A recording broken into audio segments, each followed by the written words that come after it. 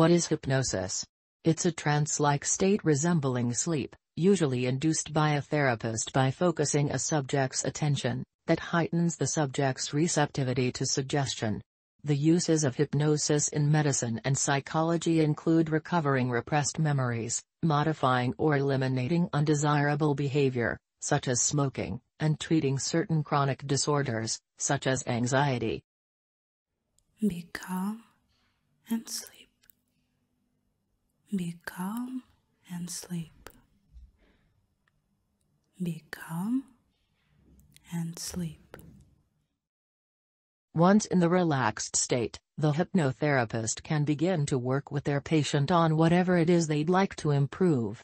There are two types of hypnosis, suggestive and exploratory, which is very effective for PTSD, post-traumatic stress disorder. Unconscious and buried experiences rise to the surface and are expelled, allowing people to experience immediate healing.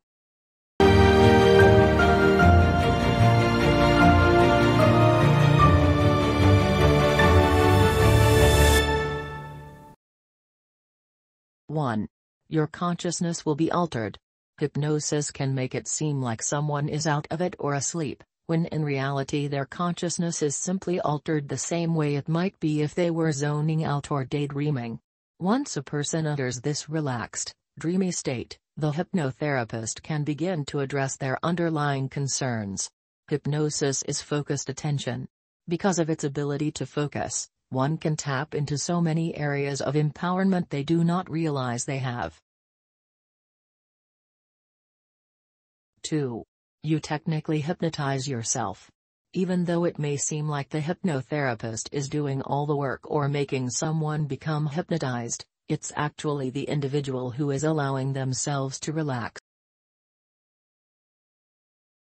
All hypnosis is self-hypnosis. It is not something that is done to you. It is a balanced dance with the therapist following where the subconscious mind leads, and then leading the subconscious mind towards profound internal insights. 3. You're not being mind controlled.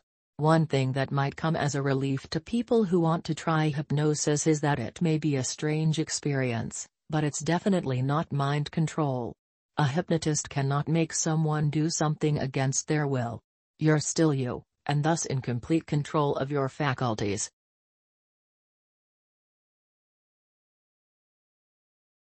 You might experience changes in just one session.